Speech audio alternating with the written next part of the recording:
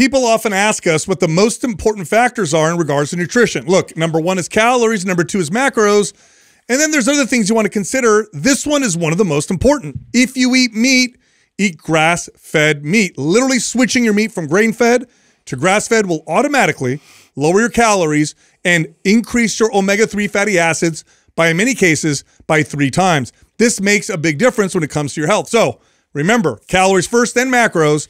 And then if you need to pick something else, grass fed meat. Ooh, Yeah. Yeah. that'll get some people. Uh, It will be- Commenting. yeah, because then you know what do people always ask us like, what, what should I do about organic or or, or non-GMO or you know this and that? And when you really look at like everything in context, you know, I, I thought a lot about this. And if you simply like to give you an example, 100 grams of uh, grain-fed meat versus 100 grams of grass-fed meat, there's like a 60, and that's not you know you're talking about 200 calories or 270 calories. That's a 70 calorie difference in a small piece. Yeah. So you'd automatically lower your calories. And grass-fed beef has, in many cases, tripled the omega threes. And we've had Dr. Cabral now on the show a few times, and he says how our fatty. I mean, that's how they test for inflammation uh, Yeah. with his doctors. Is they test your ratio of omega six to omega threes, and he says it makes a huge difference in people's health. So I'm like, this does a lot. Just this one switch you does a know. I never thought about this, but we could, with a quick Google search, we could probably figure out what the uh, average pounds of meat, red meat, that the average person and how many cons- calories would they say? con- consume a year. And then you could do the uh, then you could do by weight what uh, Like calories sum total. You could, and then you could actually mathematically 'Cause support. that's really what matters, right? It's the, the overall volume. You start to look at that. It's like my trend of eating red meat. And then if I was to optimize my red meat, like what that would do in terms of my overall health profile. Well, look, you could eat, you know, if you eat a a, a, a 12 ounce ribeye that's grain fed versus grass fed, same weight. One of them is less calories and has a better ratio of omega 3 fatty acids. It's also higher in, in some key nutrients. Not a huge difference, but like you said, Justin, Enough. Over time, like, Yeah. like okay, look, That's why I eat- said in a year's time. Yeah, in a yeah, year's that would be time, interesting. In a year's time, and you, you Exactly. figure you're shaving thirty to hundred calories every single time you do that. I mean, that's a lot. That's a, a lot when you think about, it. especially when you think about the the studies and the things that are out there that say like, oh, the average person puts on this much weight every single year. I was just going to So- say that. In fact, maybe Doug or, or or Dylan can look this up. Like, what, what, what how much weight does the average American gain per year? I think it's eight pounds. So if it's eight pounds, Yeah, so that's how I was, that's how I was trying to do. I was trying to reverse engineer that, right? Yeah, yeah, yeah. Use use that. Switching one variable out like that and like seeing like a six pound loss, you know, whatever it is equates to would be interesting. So we've gotten really in my house. We're really good. If if I'm cooking meat at home, uh, ninety plus percent of the time I'm using butcher box. If Yeah. I'm out at a restaurant, I'm enjoying a regular steak. Right, Every now and then I'll have a grass fed one out to eat, but normally that's not the, even an option, and I'm not really tripping about it. Hmm. yeah. But just Just most adults gain on average one to two pounds each year is what they Oh, found wow. up there. Mm-hmm. Um, mm-hmm. I've heard of the number of eight pounds as well, but Yeah. just to One to give two. people, Okay. it, it really doesn't matter because here's the con- here's the point, right? Let's just say it was eight pounds. It's not. Maybe it isn't. Maybe it's more for some people, a lot less for others. That's why it averages out to one, you know, to two pounds. But nonetheless, let's just say it is eight pounds in a whole year. And now this isn't exact, okay, but we know that a pound of body fat is about 3,500 calories. That's 28,000 extra calories a year, essentially, that made you gain that eight pounds. Divide that by 365, that's another 76 calories a day. So if you just ate essentially 76 more calories than you burned every single day, you would gain about eight pounds of body fat. Just 76. That's like three sips of a soda. Yeah. So now switching from grain fed to grass fed, again, calories and macros are most important. I Show want me, people- show me what can we look at? Like, I would love to see a visual of like 12 ounces of grain fed versus grass fed beef and Yeah. see what the actual uh, macro breakdown is. So Yeah. I'm curious what that is. And I, I'm sure it would depend on cut or whatever. Sure, but I mean, you should be able. There should, there's got to be someone who's done a visual. Yeah, you can compare cut to cut too. You could go Yeah, yeah. ribeye to ribeye. Yeah, yeah. right New to- York, yeah. New York, yeah. I would imagine that the fattier cuts probably have a bigger difference than the than the Yeah, look at a ribeye. It's probably one of the most popular steaks that, that. most Yeah. people would probably purchase. That's what I eat the most of uh, when I eat a steak is uh, is ribeye. I'm big on tri-tip. and then tri-tips yeah. very close. I think it's it's too. It's like it's local. It's our area. Do you know like that that whole Santa Maria tri-tip? Like, and you've been down like slow and down, and and it all originated from there. And like Did I it? actually ate, yeah, down there. And It originated had- there, not Texas. Yeah. Oh, I thought it was the a Santa Texas Maria tri-tip. Yeah, I did not know it's that. a Oh, thing. that uh, that seasoning, the common. Yeah, it's it's the seasoning, it's Yeah, the type yeah, yeah. of beef, like it's that whole thing. They they raise the cows very specifically for that. So we use that, and then we use the other one that you showed me in Montreal, which everybody uses. Yeah. those Uh, are the the two. that Montreal we- seasoning It's is good funny. We, we were up in, in Truckee, and Jessica made you know tri-tip with it and everything, and my kids are eating it, and you know, of course, my son's like, "This is Mama, you make the best food ever." My daughter's eating it, mm, mm, and I'm like, "It's the seasoning. They like the seasoning." That's funny. Oh Yeah. yeah. Yeah, but it, it's it, you know you have to go in order of operation because uh, if you're just eating a crappy diet, macros are everywhere, calories are everywhere.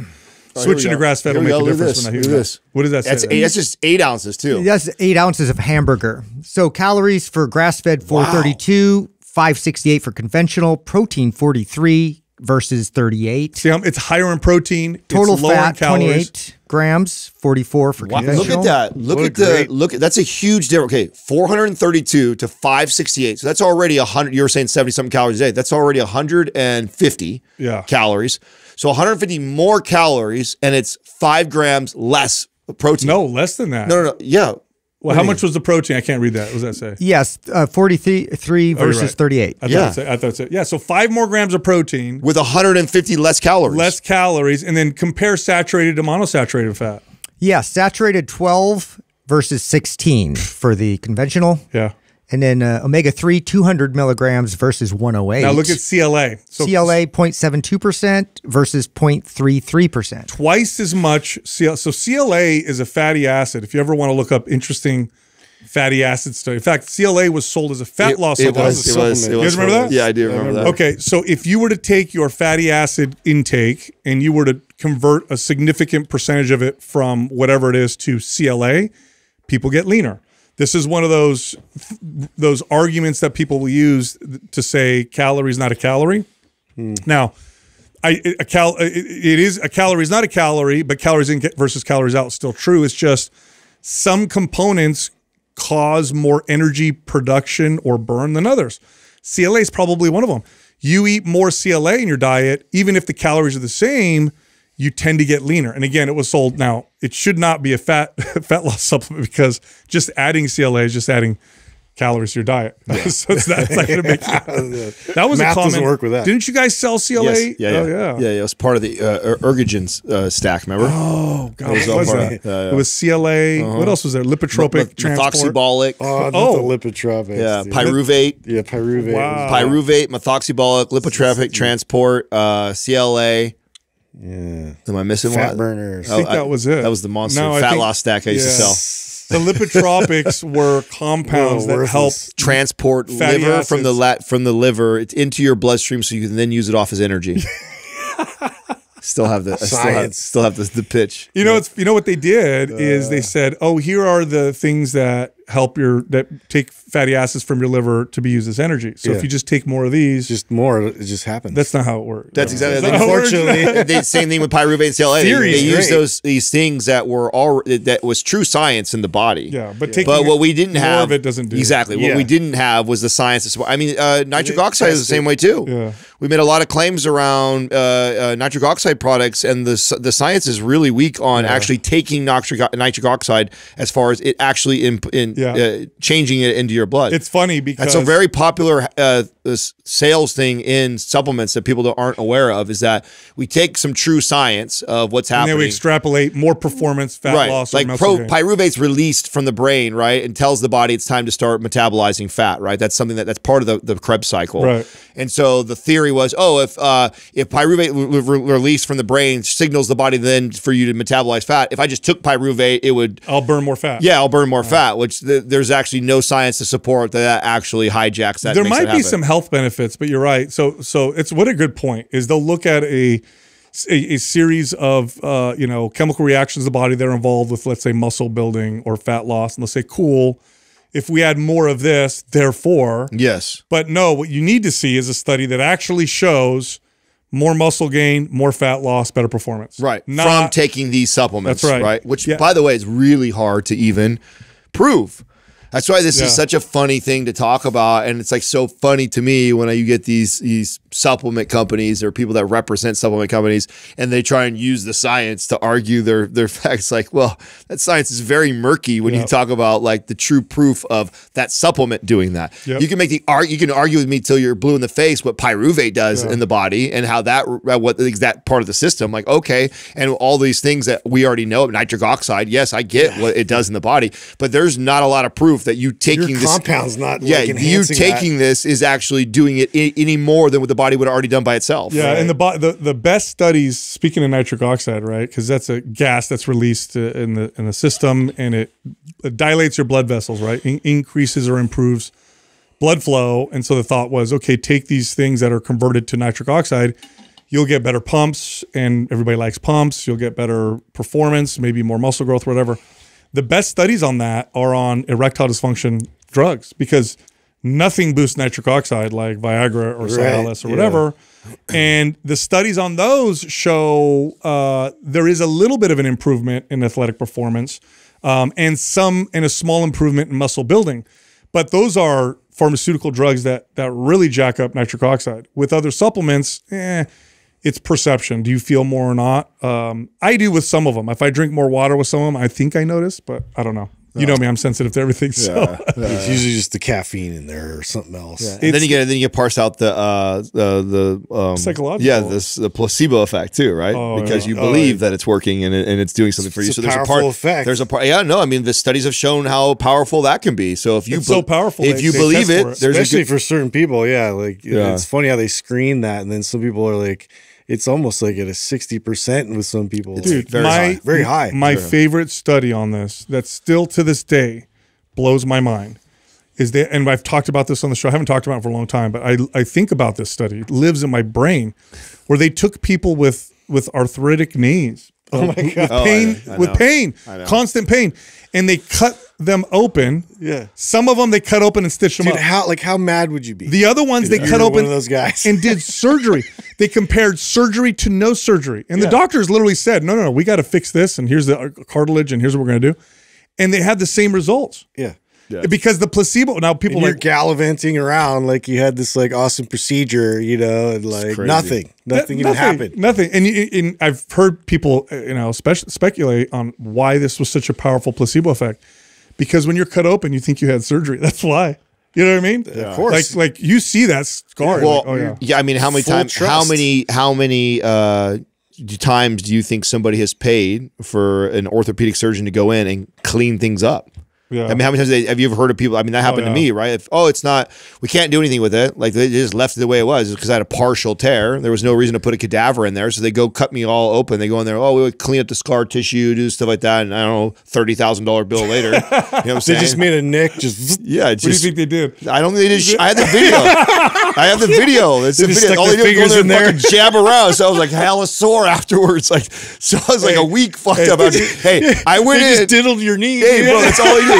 He diddled my knee. I was in no joke. Okay, real talk. So when I when I when I tore, They wrote their initials on your feet. Listen, listen. When I when I when I tore those, okay, it happened in basketball. Guy falls on me. Okay, it was like ah, and then I limped Dr. off the court, here. And then I'm off. I'm off the court, and I and I'm like I'm I'm walking back and forth. I'm like, okay, I'm gonna go back in. I told the guys like I'm gonna go back in. Give me a minute. Let me walk this off.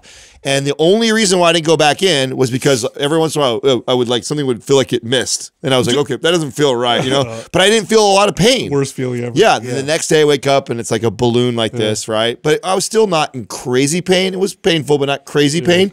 After the surgery, where they did nothing but go jab around, I was in the worst pain for like a week. That was the most painful time. Was after they cut me open, and they jabbed around and cleaned up scar So they looked at the MRI and they said, we have to go in to see for ourselves. Yes. Because it, because it, you know, because of all the inflammation, it was like not hundred. Like we think. Wait a that- minute. So they, so you, So they cut me did open. they give you the option to wait for the inflammation to go down? No, no, they literally cut me open, and they and it was I didn't know until you I might have ca- got scammed. until I came to whether I was going to get a cadaver or not. Like so, they were ready to give me a cadaver, and but because it was still intact. They, Oh they didn't put a an, another uh, MCL or ACL in there. They left it Never alone. heard of them cleaning things up. Yes. with without like Bro, this sounds actual like a, surgery. This sounds like a hustle. it does. it is a It's hustle. That's why I brought it up. How old were you? This is not that long ago. This is when I was That's twenty. crazy. You're a kid. Eight. Well, I mean, yeah, They see a kid with insurance who's going to cover it. Yeah. And they're like, well, we can't really see. yeah. Which you, I don't know. I'm not a doctor or surgeon, so please correct me if I'm wrong. But wouldn't you say let's wait, Yeah. do another MRI, Yeah. it- rather than doing explorative surgery? Because that's what that is. It's an explorative surgery. Which I don't know if you do that for anything other than like cancer. Where you're like you got to go in and make it happen. Right. Right. I thought. that- Wow. yeah. I thought that was pretty interesting. It Right. is, Wow. Wow. And, and I'm telling you, I was in more pain post surgery Is that- than I was pre. Is that Well- the worst? Uh, like, have you? Is that the biggest ripoff you ever felt like you've had from? Because I have a bad one that I, I don't know if I want to share. But Dentists are up there. I've, I've said that. Oh, one. yeah, that's right. We're the guys Dentists, yeah, nine cavities and My miraculously they gone away. My yeah. candy consumption didn't slow down, but miraculously I, I have no cavities from another guy. they all healed. yeah, six years later, like okay, that was that was weird. What other ones have I had like that That's that are funny. hustle? oh no, man! I just I got off a phone call right now. I was getting hustle. Fucking People, everybody's trying to hustle. Everyone's trying to hustle. Uh, you know, when you're It's young thing right too, especially when you're a young kid, you look back and you go, "They took advantage of." For sure. You know that I was naive. I had a, a, a Dude, Chinese medicine. mechanics take advantage of everybody. Listen, too. I'm not going to go into too much detail. I had a Chinese medicine doctor uh, at the time. I was getting. I don't remember what the issue necessarily was.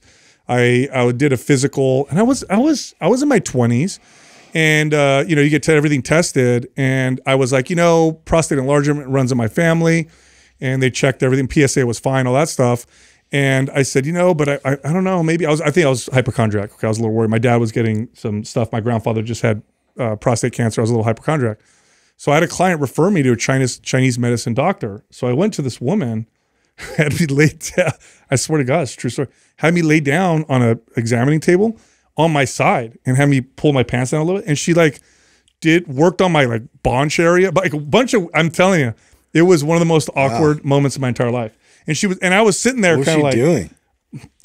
I don't know what the, I don't know acupressure. I don't know, dude. I was like, I felt vulnerable because I'm like this. Yeah, yeah, that's like the fetal position. And I'm yeah, dude. And it was like 15 minutes of this. What?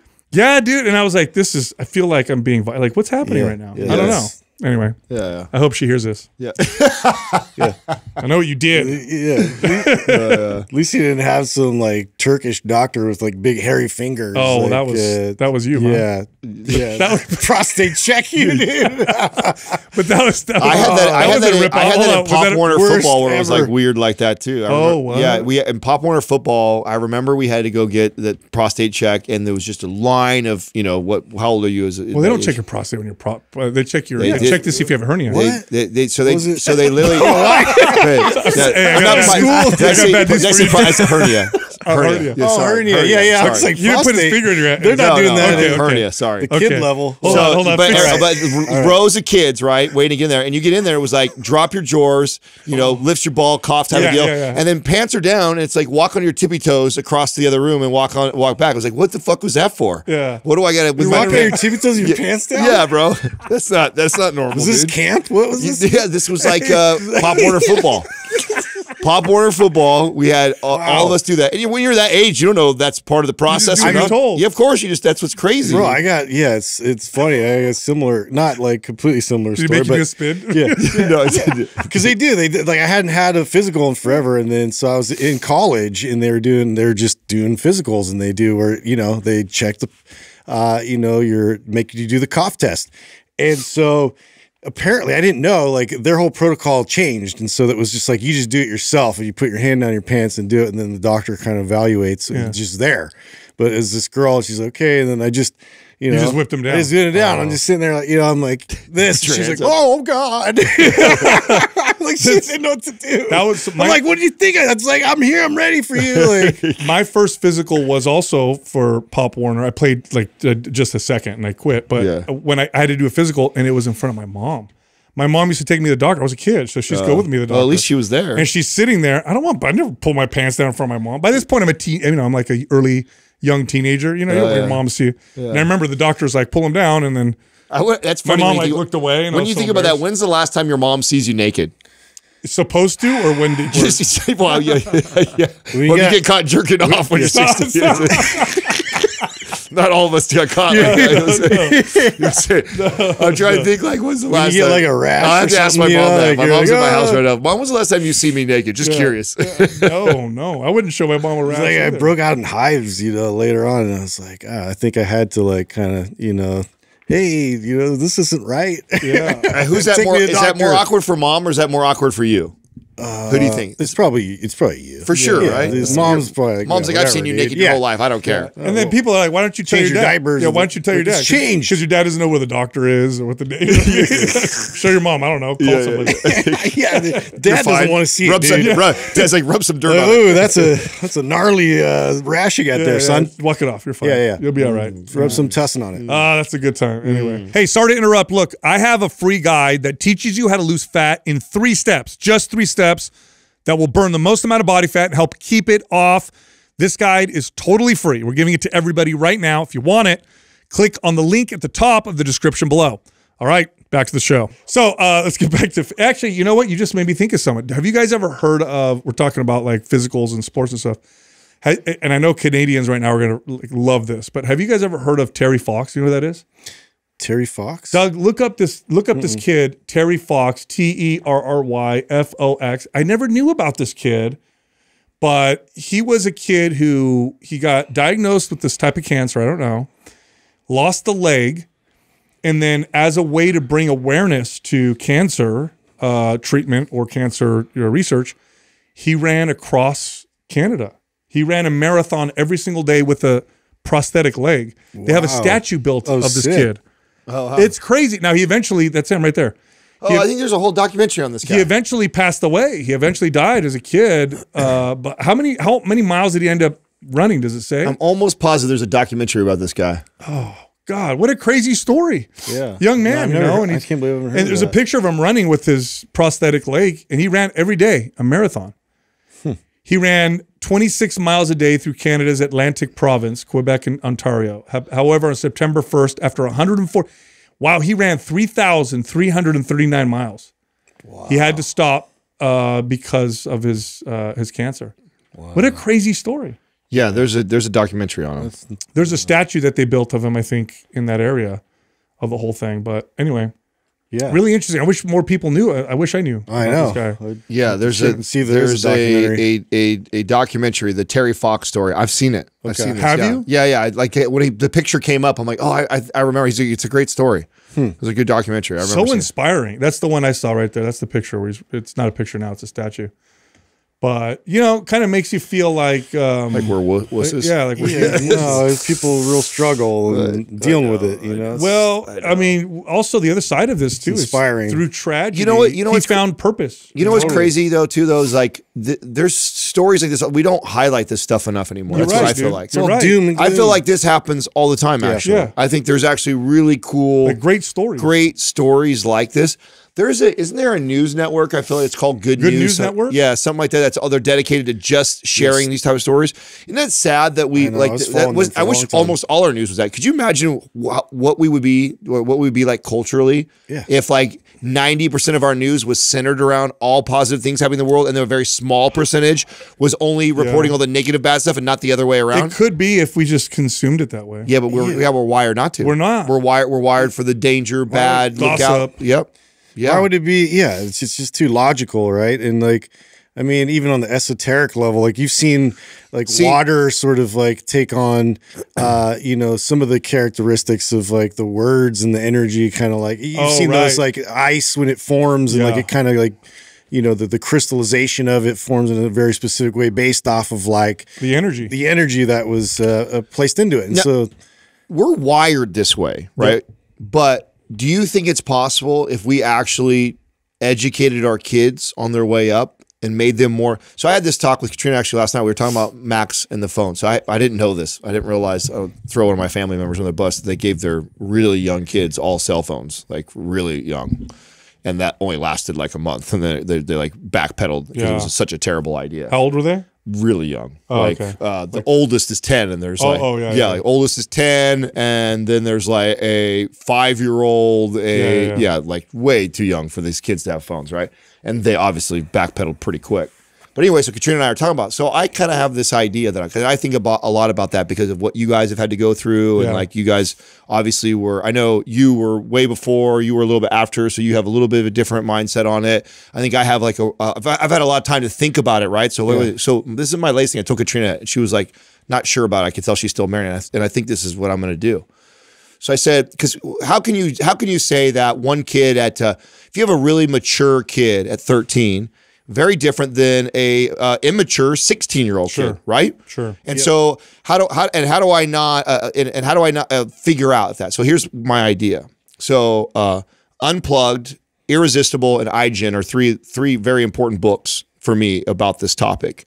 And so when the day comes and my son starts asking for it. it, I want I want you to read all three and have a book report. Perfect. And you and then you and you and I will now why this will be so powerful in my mind is because if he's really motivated to get a phone, he's going to do that, and then he'll be able to report back to me mm-hmm. what it says, and then he'll be educated on the powers and the dangers of it, and then when I put parameters around it and give it to him, he understands why. That's the- You- that's you important. can refer to. so that's, That's important, yeah. and so Because then he'll know where you're coming from. that's right. Instead of me just being the, The overlord Yeah, yeah, yeah. who says you can only do this, Yeah. sure, son, you want you want a phone like the rest of your phones. After you read these three books, and Yeah. you re- you re- report to your dad what you learned from those books. I love it, Then dude. together we'll sit down and we'll get you a phone and we'll talk about how we're going to use that phone. the experts now, the that's ones that are that are sounding the alarms, are now saying they say wait till that at least in high school, and then somebody uh, I saw one guy get interviewed, and they said, well, what would be ideal? And I said, as long as possible. So uh, that's everything I've read too, right? yeah. But you know how generic is that? Like, what if you actually have a very mature kid? Like, so I, I told you guys a story. My my cousin Stephanie, Yeah. she's the one who homeschools, and I told you about the way her kids, who you know, some are in high school, some are junior high, how they communicate about that stuff, and they did such a good job of educating their kids Mm-hmm. on that that they they have very limited time that they're allowed to use it. And they have a lot of restriction around it that their parents have put control on because they have i guess uh, there's a difference between um, uh, uh, google phones and like a- apple phones. There's more terms of control. yeah more control with like google phones than there are with apple phones. Like what they can he can really control a lot of it and gets all kinds of alerts if they do this or that Hmm. to him directly. And so that's part of why they all have those types of phones and talking to the kids it's really cool to see the maturity that they have around it. And it makes you go like well yes wait as long as you possibly can but what if i have a kid that like can communicate that and understand that? And then there is some value to them using it. Like that kid to me regardless of their whether they're you know 20 or 6 they they deserve to be able to utilize it to, just like anything else like we would not throw a, a 8 year old into a car and say hey go figure this out Yeah. Yeah. you know what I'm saying? They have to go through driving permits and practice and a test and all that stuff of that to wield this powerful, dangerous tool. But then now they have the freedom to do that. Well, I feel like the phone should be something like that. Is like this is, and then for me, it's and going the to be. controls because you know that developmentally they can't control themselves in many cases. That's right. So you're going to have to put those. and then, and I think after reading those books, he'll understand why, Why you're doing why that. I'm doing it's, that. it's- you're building and crafting these disciplines going into it, which is that, that's perfect because yeah, everything that I've you know failed with that in terms of introducing that we've tried to kind of uh, you know reverse or like address. It's a lot all communication and everything like you're talking about with like the why, why we're doing this, Right. why, why we need to, uh, you know, where where you see this obvious slip when it when it comes to grades and like we, we and then boom, it's gone and uh, he's it just it took like repetition repetition repetition like months and then finally it's like clicked and so he'll take his phone and then he'll actually hang it up before he goes to bed. And he loves doing that. He's like he doesn't even want it. Oh, that's great. Uh, because he knows his tendency is to just blah and, and not get good sleep. And but that's the other thing too about being the mature kid like he works. Like he wants to work. He wants and so and he needs to constantly communicate with his employer and then us and then scheduling rides and scheduling with other coaches that he works with. And so it's like you know it, it's somewhat of a necessary evil Of course, you know- that's why I meant like you have all these professionals that are like saying things like "wait as long as you can" or "you shouldn't until this age." It's like, well, there's a very wide range of kids that are mature and not mature, and there's a, a wide range of parents that are really good at communicating and not so good at communicating, and that makes all the difference in the world on these kids.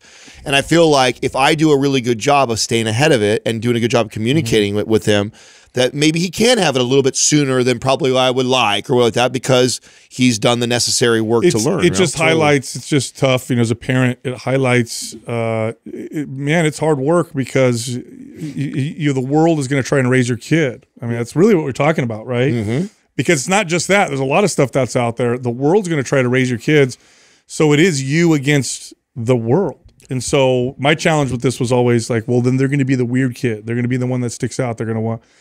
It's like many cases that's necessary. That's what you want. in many cases. That's right. It's necessary and it sucks because it's hard because you have to monitor so much. Um, and now I understand, you know, the push for regulations for kids. I get it. I get it as a parent. I understand it because there's a lot of parents out there that don't have the luxury of having the time and energy to do that much parenting and observing or watching. A lot of parents work a lot just to make the, you know ends meet or whatever. And so I get now why there's some people like we need to regulate certain things because I'm not I can't be there. Like I work all day, my kid comes home, they're home for three hours or four hours by themselves. Uh, you know, it, it's it's almost impossible. I need help essentially. Do you But- you agree with that? I agree with with I definitely agree with regulating regulations for for minors for kids. I do 100%. Just like I agree with the age limit for alcohol or or tobacco and stuff like that. I mean, I, I, do. I, feel like, and I know, like, uh, I mean, there's going to be something like, so I obviously I had this opportunity uh, to see this ahead of time. I have you know, fathers who are ahead of me that I, like feel like, oh, I wish I'd done it differently, or Justin's in the middle of it right now, and so okay, I've got this luxury. So actually, what I even think more about is what is the thing I'm not seeing. Right. What is the thing that Yeah. uh, I think is just okay right now, or I'm not really paying attention to, probably like what you guys were 10, 15 Yeah. years ago w- with it. But at the end of the day, personally, the way I look at all that stuff is it all falls on me. It goes back to the leadership thing. Of course. Mm-hmm. It's like I'm the one who's leading my family. And, you know, if I, I don't, I don't, I don't know, I don't subscribe to, I don't have time or I don't have this or I want somebody else to regulate or help me parent. It's like, if that doesn't get done or a good job isn't done, it falls on my shoulders as a, as a, Ultimately, you can of always course. course correct. It- This is the thing. You know, it's it's just you have to be honest and like like this isn't working. yeah, I made a mistake. Yeah, I made a I thought this was okay. I thought we could do take this. take it on yourself. Don't Yep. put it on your kid. It's, you know, the the stats on even on homeschooling are crazy. Like the odds that your I think I've brought this up before, but the odds that your kid is going to adopt a similar uh, mind frame or understanding or philosophy as their parents when they're homeschooled is significantly higher than when they go off to school because then the school is raising your kids in many ways. And so a lot of reasons why people homeschool nowadays is they say, "Hey, I don't want my kid to to learn these things or to to think that these particular these things are okay." yeah. Yeah. Now, do you think that's more to do with uh, homeschooling and schools as much as it is that the parents that send their kids off to school just allow that to happen and then they don't continue the parenting after that? It's like to me, I would think that You, dude, you have so much influence. well, you have to, and then- and you're then- forced to when you're in homeschool. You're right. And then as as they get older, you you start losing. I don't remember what the stats are, but I think once the kid, I don't remember what the age was. It was some teenage year, 15 or 16. Like once they reach a certain age, the parents' influence is like almost it's so it's smaller than the influence from their peers. So at some point it switches. Yeah, did you hear? I, I can't. Uh, I think I share. I don't know if I shared this with you guys or not. Uh, I follow this guy from um, BiggerPockets. Right. I used to listen to that podcast Oh, a yeah. lot. I don't I listen to it as much about them. anymore. Yeah.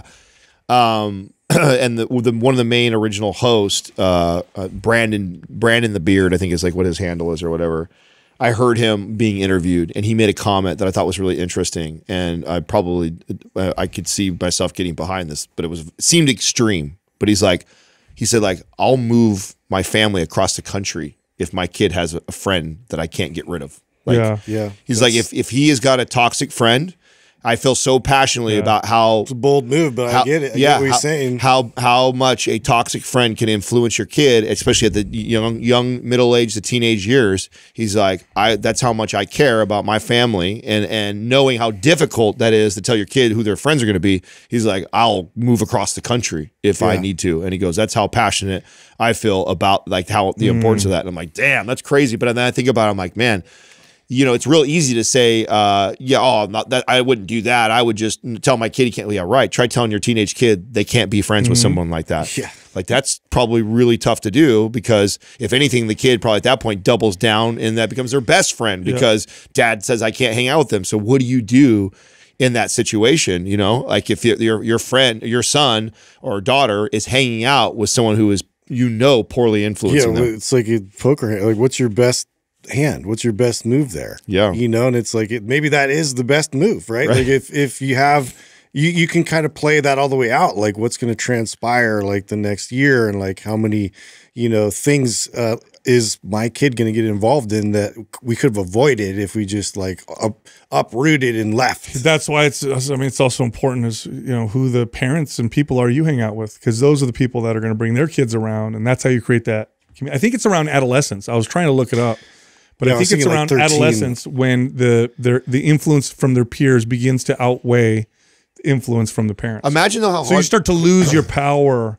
Yeah. You know. Imagine though how difficult that is. I know Justin, you and I have talked a little bit off air, like that challenge, right? Of like, like how, Yep. like how you, you can't really control that, right? Like, like how do you, like, uh, how do I as a dad? I mean, you can control some things, like I guess their school and then the people that are around the most. I was lucky that I have cousins that are my age Yeah. that I was around all the time. So no matter what, they were always more of an influence on me than the kids at school. Yeah, that's easy because that's a, that's a, Right. as a parent that's an easier thing to handle. Exactly. the kids. But I mean, like, so what do I do? Let's like pretend. Let's play this out. That you know, Max ends up, you know, for some reason he's attracted to the the kid who's got the dysfunctional home and is a fuck up and is constantly trying to get him in trouble. You know, do I just flat out say like I don't like your friend? You, you can't come over. He can't come over. You can't. You can't hang out with him. I mean, I've done that. Yeah. Yeah. I mean, I, I, depends on the age. It- right? Well, yeah, maybe, but Does uh, it? I mean, does it I mean, matter I, the I honestly just uh, it, it sucks. I think for you know to to get to that point where you got to like address it. But it, I feel I feel like it's better to be radically honest and like upfront and be like, look, like this kid just doesn't give me a good vibe. Like I don't know what his story is, his background. That's where first thing I'll do is ask a lot of questions. And if I'm if I'm asking, and Ethan is is really like picking up on this because like you know uh, if I'm asking him, kind of interrogating him about somebody, I'm asking a lot of questions. Yeah. Uh, so I could get enough data to to make a better you know evaluation. Uh, and you know, and then it- we've had moments where it's like there was something that came up where I was like, "Oh, are you getting into this?" And it's like alarming, and it's like you know he's he's going to be influenced, and so I'm looking at this kid, and uh, and I've actually I've had to drive a kid home, you know, from hanging out from him. Like he's he can't stay here, he's going home, and I took him to his house, and I told him, I'm like, you know, try try again sometime. But here's what you want to do next time. You want to make a better impression. You want to look at adults in the eyes when you talk to them. And, you know, you want to, like, we're not your peers. Like, you have to approach adults differently. Yeah. And you made a bad impression. And this is a lesson you're going to have to learn. And I was like, and I'm not, that's outside my character, like, typically to like be very, but when it comes to my kids, that's exactly how I am. I Yeah. can't help it. Yeah. Uh, and so the kid was like, ah, taken aback. Like nobody's ever told him stuff like that before. But it's just like, that's not like a common thing that's taught anymore uh, from other adults. Like you, you got to treat adults with respect. Yeah. If you're to stay in their house, Yeah. you're not to stay in my house and not respect me. You're damn straight. You're out. yeah, yeah. So yeah, I've I have had to have that. I mean, that's why I, I mean, I agree with you. I think, I think that, I think I would take the same, you know, radical honesty approach. Like it's almost always better to go that direction. I think I would also pursue um, the parents because I also recognize that, you know, every parent probably goes through a phase where their kid is challenged or more difficult than others. And if I felt like I could come to the parent, like let's say it was, let's say it was one of your kids, right? Let's say you, you had the shit kid, right? That my Right. kid's hanging out with. And I, and I'm like. Yeah, it would suck. It would suck. But then I, I come and I meet, but Just we don't know each other. yet. to your house. Yeah, You're yeah, like, yeah. "Oh, we don't we don't know each other yet, right? And I introduce myself, and then I meet you, and then I really like you, and I'm like, hey, I just want to give you a heads up, dude. Like your kid's getting my kid to do some shit like this, and how you respond to that matters everything to Yeah. me. Because if I can come to you and tell you your kid's getting my kid to do some bullshit. And like that, uh, it's not okay. I, and I don't want to cut the relationship off. And then the way you respond, and if you get on it, Yep. and you can control you it right away, what do you mean? It's your kid. It's your Exactly. kid. If you get defensive and you're like whatever about it, or you're a mm-hmm. loser, like I'm like, oh, then I'm gonna then I'm gonna come to my son and I'm gonna be like, here's the deal, I don't I don't like your friend and I don't like his dad, and so that's a problem for me. Mm-hmm. Like if if and honestly, he's getting you into trouble. He's doing these things, and and and then I would give him the whole spiel of you're the average of the people you hang out with and all that stuff, and teach him how important that is, and say and and it'd be okay maybe if I met his dad and I thought he was learning something good from his dad, but his dad's a shit butt too. So I don't want you hanging out with him. So that's probably how we go down. But if I felt like I met Sal, and Sal, like, I really liked you, and you're like, man, dude, yeah, I'm having a hard time right now with the kid. It's his mom's I- fault. I like you. All right, man. Yeah. Son of a bitch, his mom's a pain. in the- No, no, I always thought you're a cool kid. Yeah, yeah, yeah. He goes to her house every other weekend, no, man. no, She's- no. oh, that would be funny. No, I, I think that's the move, though. I mean, you know, I don't.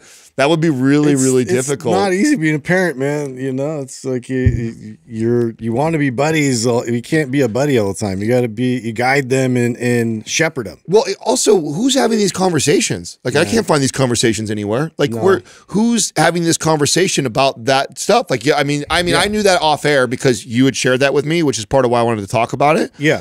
But a lot of people just don't talk about that, and that's a big deal to have as a parent. Like, Oh, it was a big. to figure that out. Otherwise, if you just let some random kid teach your kid, like you could have had a good kid and he's going to go down the wrong path because that kid really influences. That's how him. that's Yeah. how powerful their influence is. you Yes. know? I know people like that. They hung out with the wrong people, and it just it just took them down. Yeah, I know. I know a lot of people like Uh-huh. that. I'm. This is one of my favorite traits, and I and I think I see that in my son. Like so, the like I love that my son like loves Bowser. Like that's so weird. You know what I'm saying? yeah, yeah. And he let like he hates Mario. He hates Luigi.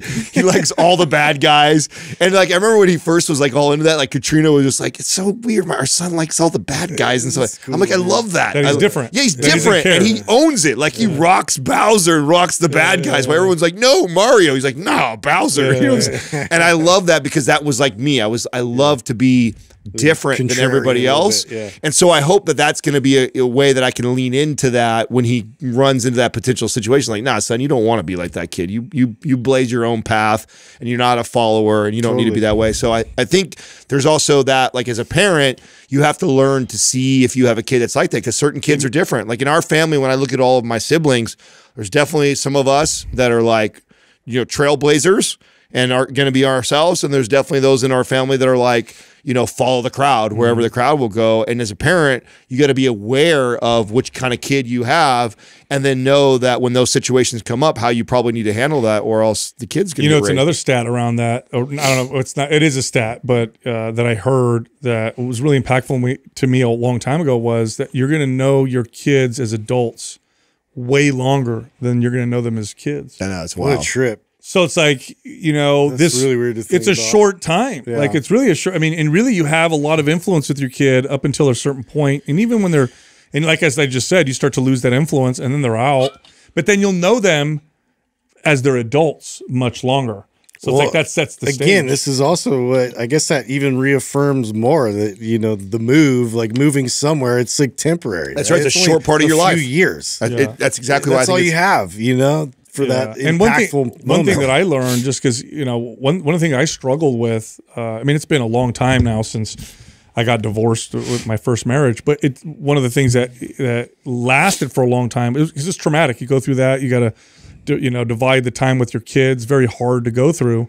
One of the things for me was it was like I didn't want to upset my kids. I wanted to make things as easy and, and good as possible. Yeah. And it seeped into and took over my ability to create boundaries and to parent. If- In fact, it made it very hard for me to do any of that. I always wanted to be the the nice guy, the good Yeah. guy, or whatever. Yeah. And um, you know, more recently, I'd say over, just recently, over the last year or so, I've really started to strengthen that. Um, and your kid doesn't like it; they they throw a fit, and then they're over it. And that's the part that really I knew that would happen logically, but to experience it, like, oh yeah, like yesterday she had a meltdown because I said she can't go to that thing or whatever, and it was all big drama.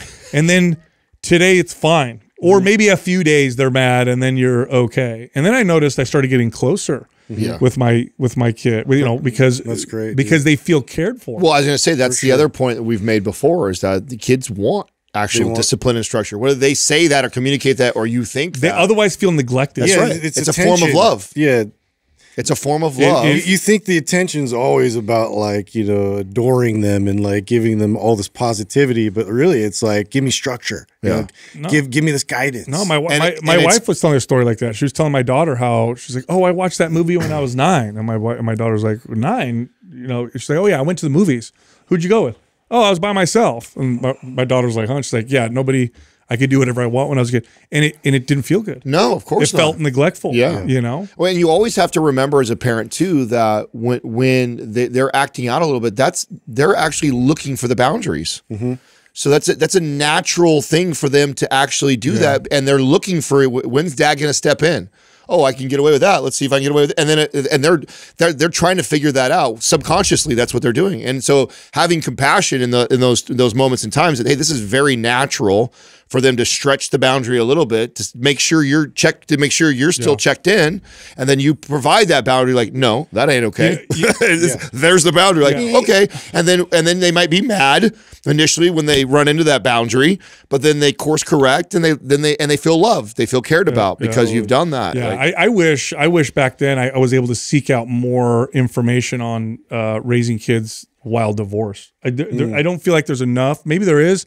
I didn't go out looking for it, but I didn't have any role models because in my family everybody's still together. But there was lots of challenges around that that you you know you you don't anticipate. It's not the same. There's a lot of things that seep in that make you feel uh, like you can't uh, be the way you want to be or whatever without even realizing it. You know, Yeah. there was more conversation around that. Yeah. Yeah, I think that I think some of that has to do with what you have already talked about with yourself is just knowing that you have a hard time. You're not the type of person to go ask for help and look for that. per Oh, se. yeah. You're used to being the guy with all the answers Yep. and leading, Yep. and so it's not in your nature to be like, you know, your nature is I got this. I'll figure it out. Mm-hmm. Yeah. I always do. Or that Work problem doesn't out of it. exist. That's or or, or, Yeah.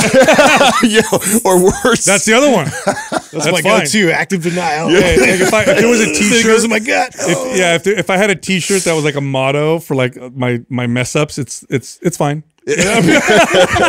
it's that one dog in hell. Yeah, yeah. I'm fine. I'm that's cool. why, that's good. why I like I We're like good. the yeah, what what movie is that from? You, what fine stands for? No. Freaked out, insecure, neurotic, and emotional. Oh yeah, there you go. Yeah, yeah, yeah. That's what that's what fine stands for. Freaked fine. out, Everything's insecure, fine. neurotic, and emotional. that was that was me forever, dude. oh Yeah. shit, dude. Ter- terrible. So, hey, I wanted to. Uh, we're supposed to talk about ZBiotics today. For listeners who don't know, it's one of our sponsors. This is a probiotic that's genetically modified. You take it before you drink alcohol, and then the bacteria, which lasts 18 24 hours, I looked it up. It breaks down acetaldehyde in the gut. So the result is you feel way better because acetaldehyde from alcohol, that's what makes us oftentimes feel like crap. Anyway, uh, I was looking up reviews, third party reviews for ZBiotics. So people don't know this. The way we discovered them was I brought up an article, which by the way I found. It was an old article. Oh, you found the it was original article? 2018. I found an article where there It's was been that long that we've been working. there was a guy that uh, This it is one that got their attention. Yes, it was a tech article, and this guy talked about how there's this weird probiotic that you know prevents, you know, it helps you feel better after drinking, whatever. And then the guy himself said, "Oh my god, I can't believe it worked." So I talked about it on the show. ZBiotics got this boost in sales. Tried to figure out where it came from. They contacted us. Yeah, So I found. I ended up finding. And then that they sent the product because then at that point that was Yeah. like the initial. Yeah. Then they Yeah. sent the product. And then we tested it. Remember we Oh, tested. We my didn't just God. test it. We took it to the We- limit. we pushed dude. the boundaries. I Oh my! was hurting. Is that and that's Doug thinks it's still on It's Instagram. on. It's on Instagram. We'll find it for the YouTube channel. For sure. I, know, it's, on- there somewhere. Listen, in, in, it's a, in the- yeah, it's on a reel on Instagram a long time ago. I know it's in there somewhere, way back when we first probably probably Yes. Back 2018. You go all the way back to when we first and, partnered and with people them. need to understand. So what we were trying to do is we were trying to make a video that would be funny, but that also would display this new uh, company we're working with. And what it was, we bought a drinking game. Yeah. And Adam, myself, Justin, and Doug played the. We're going to play the drinking game, but before that, we would drink ZBiotics, and then we would talk about the next day. We would record a podcast about how we felt. Yeah, so that was the. That was what we were supposed to do. And we were sold though. I mean, I was sold And- right and- afterwards. and- but here's what we did. We thought we looked at the rules of the drinking game and we thought this is going to move too slow. yeah. Let's, Let's speed make up it and let's more- do hard alcohol. I'm like, yay! And let's make it more aggressive. Like you have to take two drinks here, three drinks, whatever. Dude, I was smashed. Just bro, Just destroyed. I actually the most drunk I've ever been. Destroyed. Yeah, I don't think I don't think even since then. Uh, No, I don't think I've had. we that. never No, dude. even as a collective group we we were like and we've gone out and like hey let's have, let's let our hair out a little bit and it was just like we've never since tapped anywhere close No, no, no. I was I was stumbling. Barely even buzzed. I was stumble drunk, like where I go- where I'm walking out. I was on the toilet, and I dude. had my Uh, wife pick me up, and she's like, "Dude, you." I mean, smell they like they have they have single handedly uh, changed my relationship with alcohol. Yeah. Um, I was never like now. I have a I have drinks that I like, and there's things that I'll try Yeah, out. because you don't feel like dog shit. Yeah, I just was. I was for the longest time an anti-alcohol person because it always ruined. Not only did it ruin that day and night for me, it ruined the next day. Well, we actually If you came in like the next day It's not and-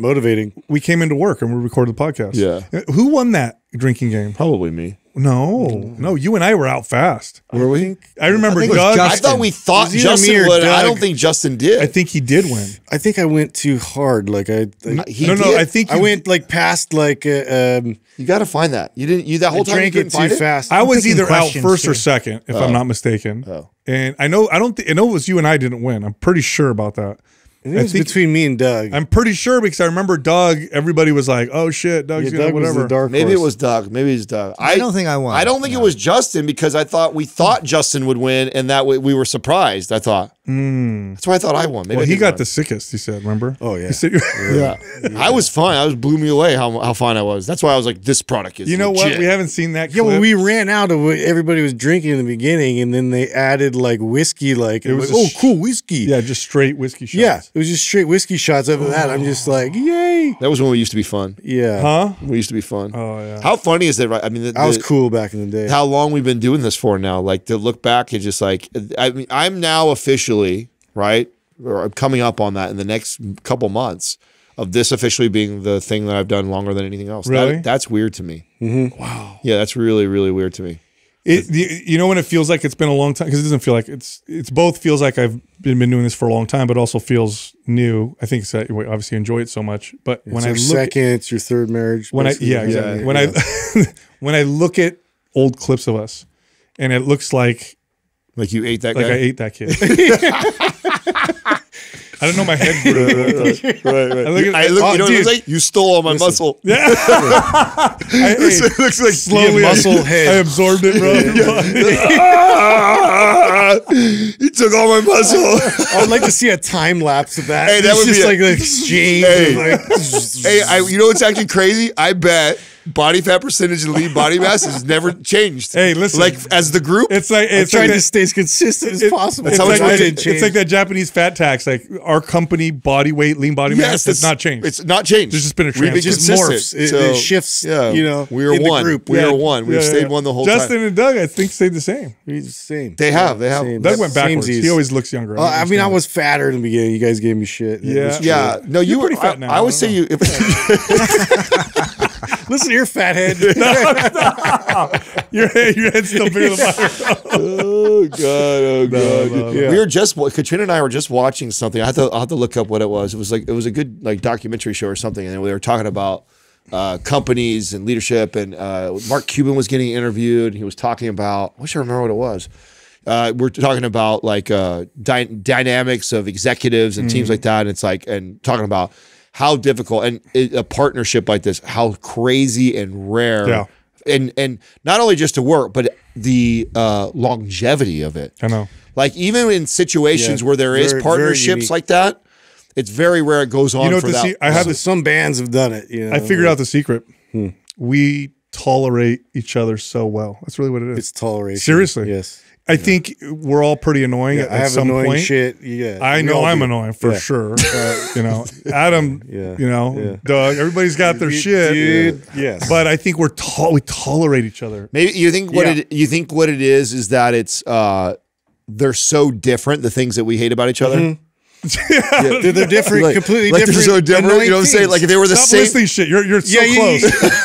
I know where you're going. we're not. We're not going to pull Like, all ex- this out there. So, for example, Yeah, for example, Sal, he pulls out his phone. He's got notes. it's got a laundry Let's list. talk about yeah, the top five hit, these beats real quick. Stop, dude.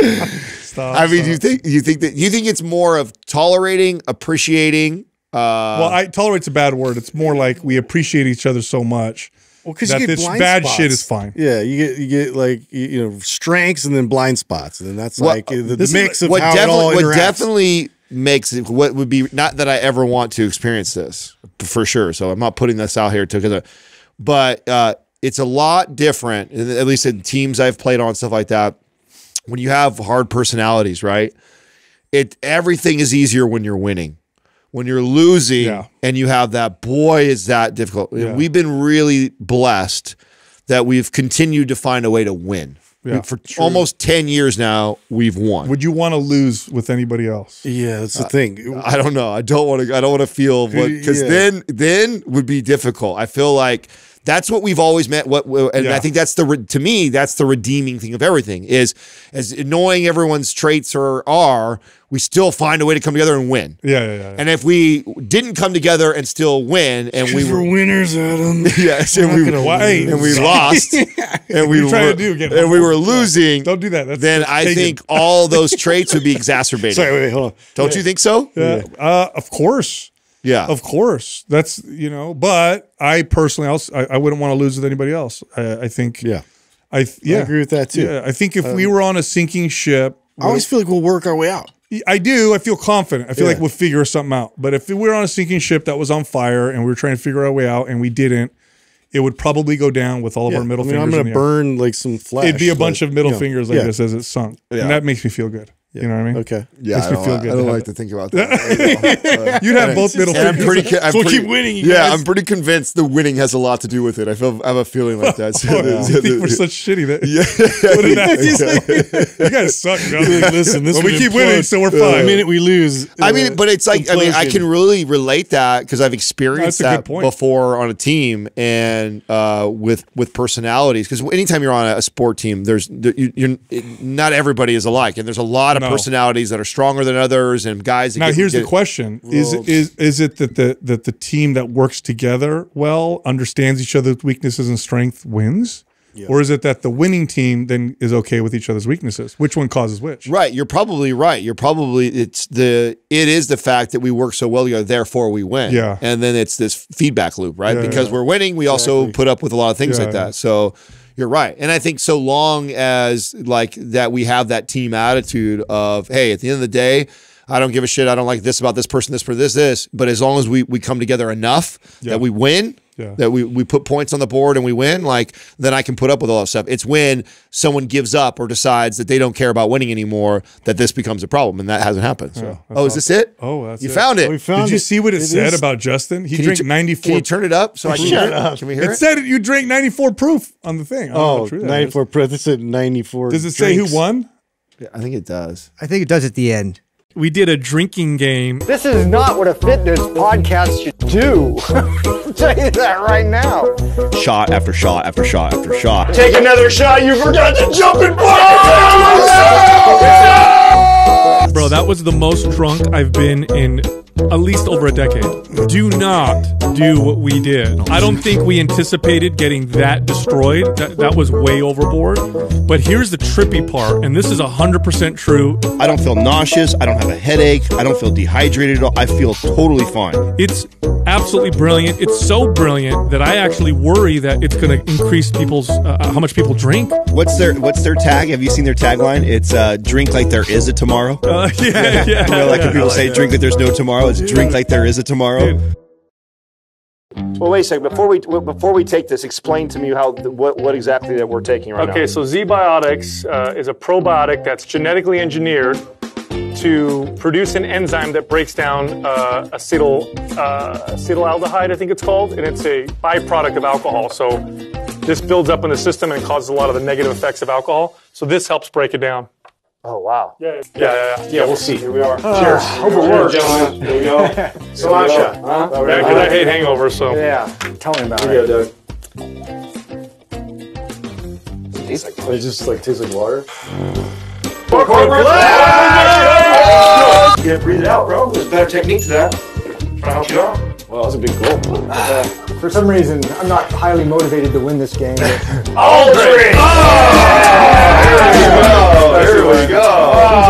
There we go. Cheers, you guys, to the worst idea we've ever Yes, this is the had. best. I think it was mine. Here's to getting smashed. Here we go. Oh, hey, you know the worst part about this is, this is not two good. wine spots. Too fast. Count. Oh. I got three shots. Sergeant Blue Cell. Thank God it's not me. Bro, three shots in a row. Yes, I'm gonna Give it to you all night, sir. Help him out there. Am I at number three or number four? He's already losing track. I've already lost track. No, no! Doug and Sal are gonna treat the most. There's gotta be we a need to good make it less than breaks five. There's no way. You can't do five. Five is too much. No, it's not. I just did four. You guys, Fireball really smash. Hey, we gotta be cool with Doug. You can't let him do that. Get too excited. Come on, Sergeant Blue. I've had five shots. He's oh, at five shots already. I have five shots. Nominate. Oh, Adam. Oh, man. That's right. I got five lives. That's a good spin. Of only community. Yes! Five green. Yeah! Look at that. So effortless. That's not fair. Justin has two livers. Pour some in your, your cup, Private Green.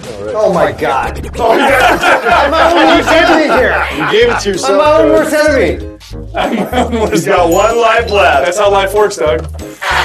As usual.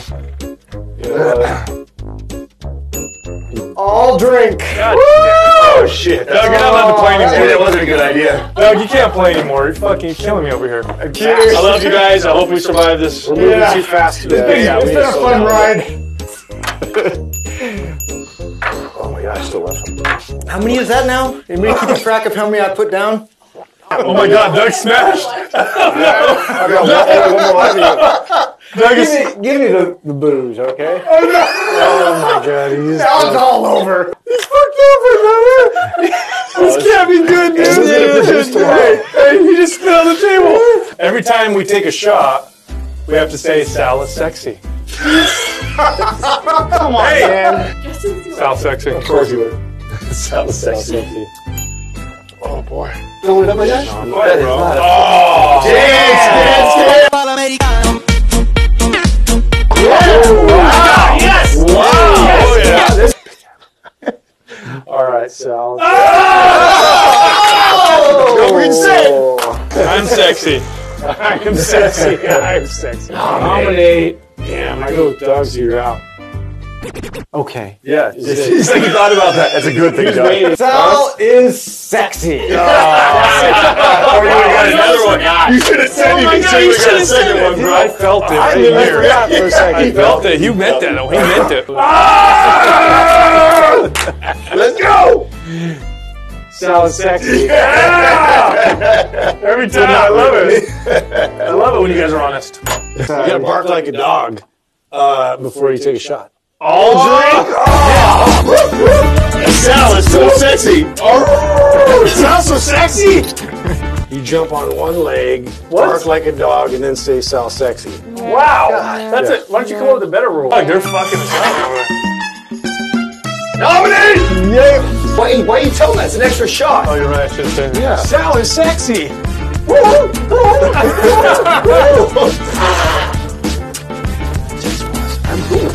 with 10 squats, dude. I need the squats. I can do better squats than Ansal drunk. If you can you do this? Look. Can you do that? I could, but I would look like you. No, no, try it. I see. I see what you're Oh, doing. evolution. Oh! Oh, man. Oh, dude, guys, drink. worst. That's not No the lies dude, down. Sal is sexy. This is the best Oh, day of I my was life. waiting for some fucking hot best damn of good my taste. Always. Can we choose teams? 10 squats. All right, I'm on your You team. Justin. Hey, the workouts are against the bro. you fat fuck.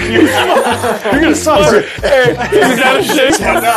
Where do I squat? You have left just One more. Take another shot. You forgot to jump and block. Oh, oh, I meant to do that. He's out. Dance. Dance. Or take a shot. Whatever you No, I don't to want to take a shot. I want to fucking dance. That was good, dude. Uh, lordy, lordy. Why is that thing not spinning? Like, oh! why is this thing not spinning like it used to? Why am I clapping? I'm, I'm upset about this. Sounds so sexy. Sounds so sexy. The whole time. But I'm he's really sexy. not. That's the greatest, the best rule I've ever invented. I'm so glad I said that. Oh, right. This normally is not a good game for 40 year olds. No- Normally when I go out, I'm, I'm like, Hey, hey, spin, like two sips. 54. Doug's For 54. half an hour. 54, acting like a teenager. What a weak spin! What a weak spin! I don't care. It produced what I wanted. I feel like it counts. I feel like it's, of course it counts. I need to text my clients. Say I, I, I heard my I heard my hair Are you canceling your appointment? Yes, bro. I'm gonna get up at six o'clock in the morning. Tomorrow, we fucked. Yeah, we can't have that. Hey, don't get in a fight outside or something. I will. I feel like you're do that later. He's got a newborn at Yes, home. as you get older, you learn to stop before you get to this point, Where's his dicks? and you're responsible enough to not drink He doesn't anymore. even get sleep to begin This with. this is why stupid, hey, stupid young kids play games like this, bro. Not fucking grown ass men with fucking jobs and kids. You're so screwed. rough. I- so sexy. Like I don't care about your ancestors. Drink your shot. Drink your shot. Drink it. Drink it. Drink it. It.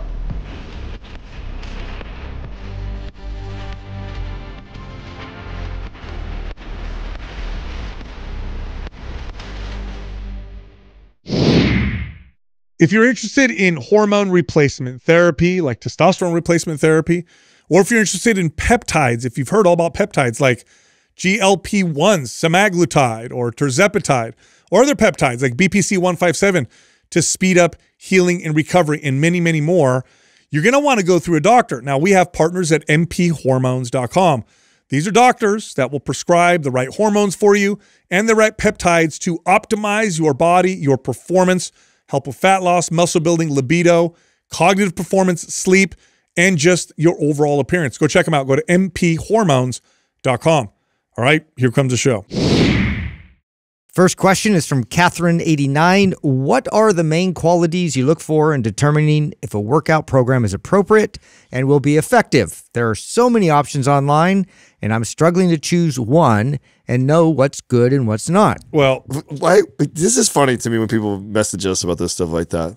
why? Because we have Why, like, what are you? Are you going not going to sell maps right now? Yeah, I Are you not going to sell like? Yeah. yeah. What, Well, what- if you- I- look, if and, you- are, and are you asking me about other people's programs? Like, what do you think I'm going to Well, say? well, here They here's what I'll to say. roast uh, other people's. Programs. I don't know if that's is that the desired outcome. Here's what I'll say because it's. I think what they're looking for are uh, qualities, as they said, or factors, or the red flags to look for, or whatever.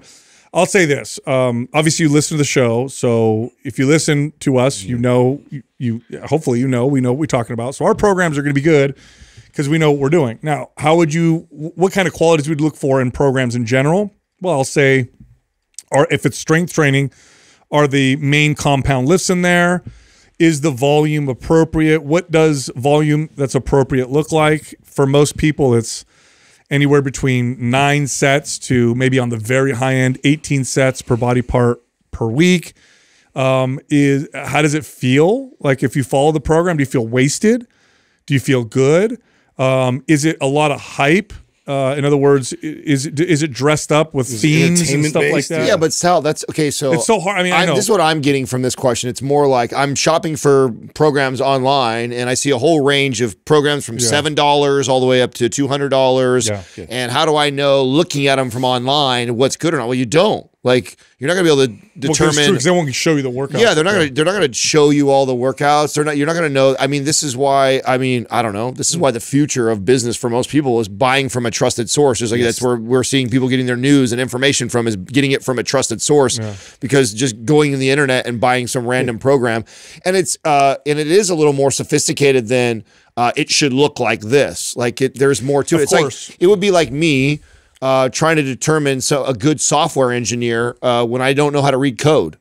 like and just determine whether they're good or not, right? Like, Yeah. well, hopefully they come from a referral from somebody else who's had them work for them and tell you that like they do great work, therefore they probably write good code. Like, okay, cool. Because if they showed me a piece of paper and they went like, "Hey, this is a software code I'm gonna write for you," I'd be like, Yeah. "How the fuck do I determine if that's good for me or not?" You know, I have no idea. I think I could probably generally say this, though. I'll say this: uh, Were the programs written by people who have strength and conditioning backgrounds, or backgrounds in correctional exercise, or backgrounds in actually working with people Training and training people. people. or is it a program from a fitness influencer that looks good, or that is ripped, or a celebrity? That's good. because then it's probably crap. That's probably your your two biggest Yeah. uh you know factors when you're looking at online because like it, there's going to be a lot of influencers out there selling their look and uh you know their their big following is you know as their their weight and their clout but I mean, to Adam's point, it's like they have to be able to explain everything in nuanced detail. They have to be able to educate you constantly about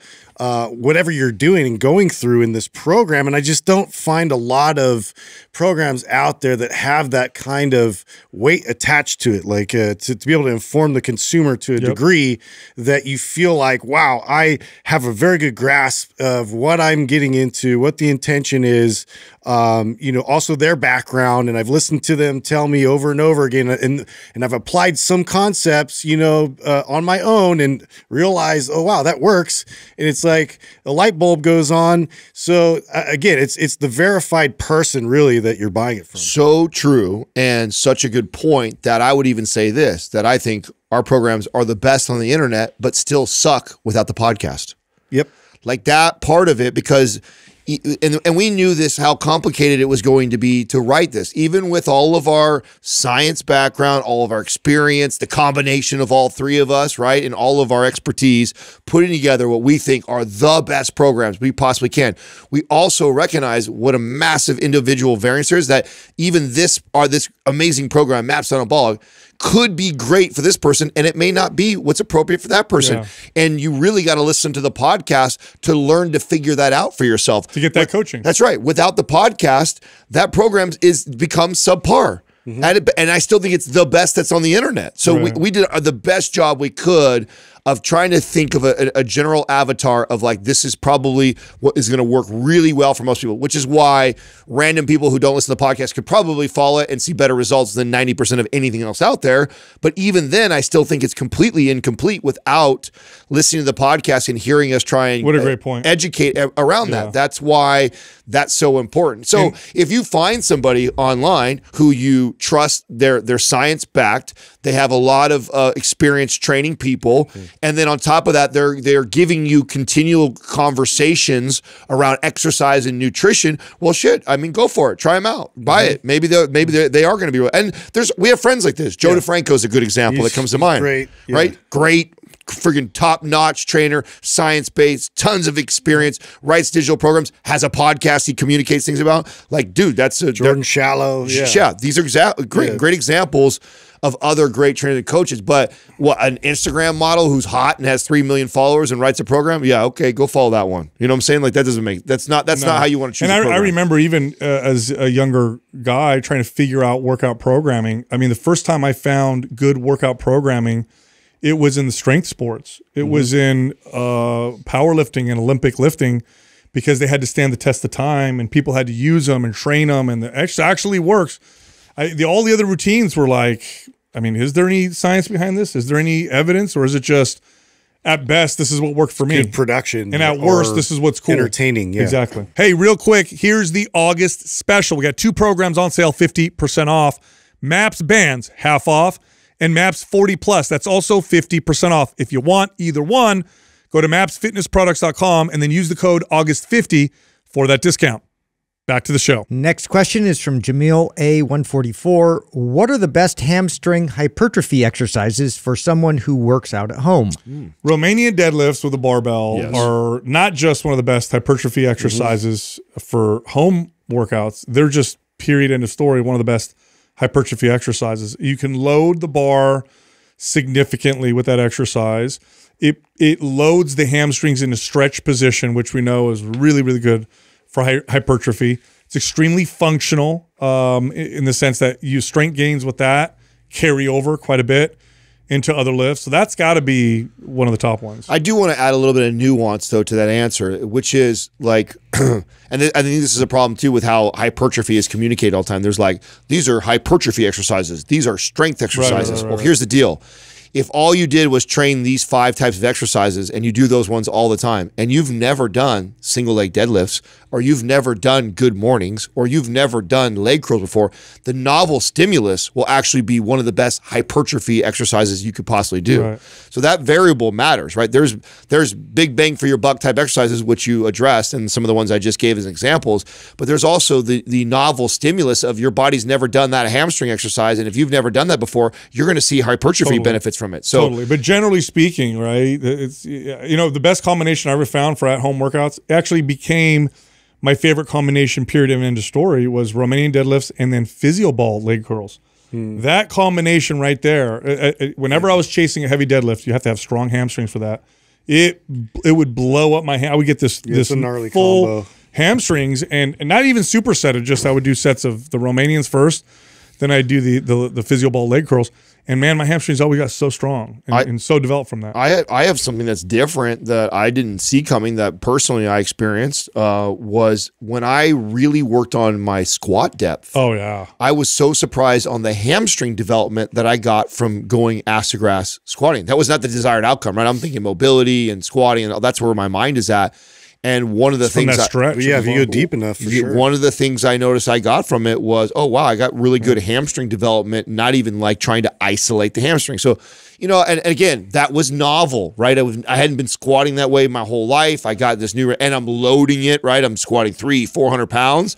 Oh, my hamstrings got growth from that, even though I wouldn't consider that a hypertrophy based thing. So you have to keep that in. Look, in and now mind. little- no Nordic curls. Oh god, those are gnarly. so gnarly. yeah. Those are They're gnarly. great, but yeah, they're, they're advanced. Very It's an advanced. You definitely don't want to like. Uh, you definitely don't want to miss uh, regular deadlifts, uh, stiff-legged deadlifts, and uh, good mornings as because Good all of those you can load really, really good. And if those those should be like cornerstone movements, and then there's benefits to all the novel things Yep. to inco- incorporate in there. And if you've never done it before, then and you're then, and just a little slightly off topic hack. If you really want to develop your hamstrings to have a nice look to your leg, and typically this is women, work them first in your workout. Hit your hamstrings, then do the rest of the workout, and that prioritization tends to cause the hamstrings to really develop nicely. Next question is from Greg Marturano. When performing a unilateral exercise, is there any benefit to doing alternating reps versus one side at a time? So reps. Okay, so this would be like doing a stiff-legged, excuse me, a single leg deadlift, going down with the left, up, then switching down with the right, up, then switching down with the left, up. Um, I typically don't alternate like Legs, that. I think it makes less sense. yeah. Yeah, just mainly because now you're like switching. It's more of a balancing exercise because Mm-hmm. you want to establish stability and then just isolate and work on that one leg and like really trying to build up strength around that instability. Uh, I think that's sort of more the intention Yep. versus like, you know, upper body. I think you could probably get away with more uh, alternating cadence. I think that's a, a great way to think of it, right? So I um, that was what was going through my head right away. I was like, I actually think this applies really well to almost all upper body exercises that come to mind right away: bench press, shoulder press, right? Alternating them versus actually doing. You, you would never, I would never do a unilateral shoulder work and and stand. Not, I shouldn't say never. No, no, rarely, would. ev- Yeah, I yeah, rarely ever would I just much. press on my right side and by itself and then switch over to the other side. I would alternate back and forth and I would get the benefits of unilateral training for my upper body. Now that's not to say you're right. I would probably still once in a while do it by itself like that. But my legs, I would never do a single leg deadlift on the right side, put everything down, go to the left side, put it down. I would go all five to eight reps on the right side, Yeah. all five to eight reps on the left side. You know, it goes like this. The, the hierarchy looks like this: barbell, dumbbells at the same time, dumbbells alternating, and then one at a time. Because if you're doing one, you don't even have a dumbbell. On the other hand, there's a whole different functional stability component that comes into play. Where now I have weight on one side. I mean, like a one. Imagine doing a chest press with one side. Like you got to keep yourself on the bench, not flip over. Versus when you hold them both uh, and alternate versus when you do them both at the same time. So there is a bit of like, okay, what am I looking for? Is it more hypertrophy? Is it more balance? Is it more stability of the core? Bodybuilders tend to do things for hypertrophy purposes. I think that's why they alternate. Um, but I think if you have a weakness on one side, there's a real big imbalance. Focus just on that side because otherwise it takes my focus off. Like if I have an imbalance between my my left shoulder, my right shoulder, alternating them, it's gonna it's it's gonna mess me up a little more than if I just did my left and really focused on trying to bring out balance. You can on control the, left side. little nuances that are pulling you out of uh, alignment, you know, or like in good form. Yeah. And, and so that's that's really the consideration. If that's what you're trying to do going into the exercise, then you got to isolate that. And that being on all the points that we made, it's also true that if you did, it's not bad. No. you know, No. Not bad, or it's not like it's ineffective or ineffective, right? Like you, it's, yeah, it's just us working through those. yeah, you could do it. I think the points that we're making is like, ah, there's a reason why I would prefer to do it on side because I love that when you do a single leg exercise like that, five to eight reps on one side, the core and stability component is phenomenal. Where you do, you lose that if you you put it down right away. Constantly switch. Yeah, you constantly switch. You lose that great core and stability component. Like you get a lot less of it than you would be taking breaks in between. But it doesn't mean that there's not any value of you right. doing that other way. Yeah, they're both okay. All right, I know you liked that episode. If you did, check this one out.